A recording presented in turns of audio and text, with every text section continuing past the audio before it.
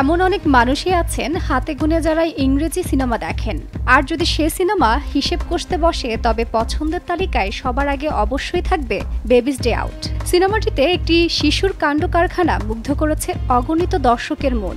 হাঁটতে না পারলেও শিশুটির মিষ্টি হাসি বুদ্ধি অভিনয়ের কলা কৌশল ও দক্ষতায় যে কারোর মন জয় করতে বাধ্য।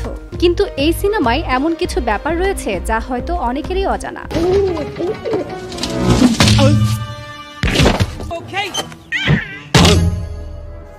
জনপ্রিয় এই সিনেমা রিলিজ হয়েছিল উনিশশো চুরানব্বই সালের পহেলা জুলাই।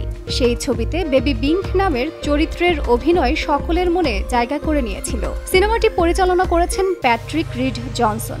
সিনেমায় দেখা যায়, তিনজন ব্যক্তি কিডন্যাপ করতে চায় একটি শিশুকে, কিন্তু ওই শিশু তাদের এমনভাবে বিপর্যস্ত করে যা চমকে দেয় সকল দর্শককে।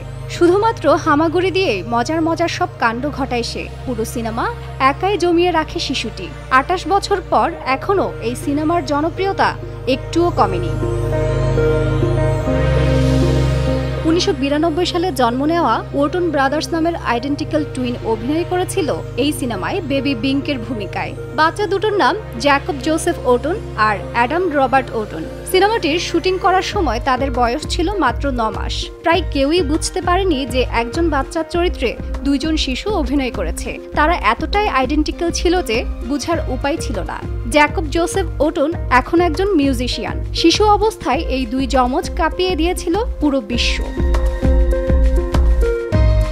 এদিকে টাইম ম্যাগাজিন থেকে জানা যায়, উনিশশো চুরানব্বই সালে এই সিনেমা রিলিজের পর দু হাজার সাত সাল পর্যন্ত জন্ম নেওয়া প্রতিটি শিশুরই প্রথম দেখা অ্যাডভেঞ্চার কমেডি মুভি। সিনেমার বাজেট ছিল আটচল্লিশ মিলিয়ন মার্কিন ডলার, কিন্তু বক্স অফিস শুধুমাত্র ত্রিশ মিলিয়ন মার্কিন ডলার হয়, যার কারণে অনেকেই এই মুভিটি ফাইন্যান্সিয়াল ফেলোর কমেডি বলেও ডাকে।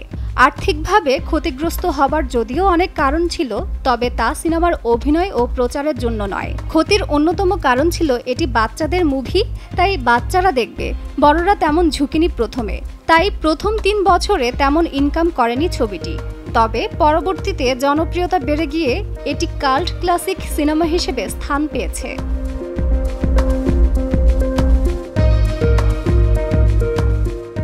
তাজরিন রিকা সময় সংবাদ।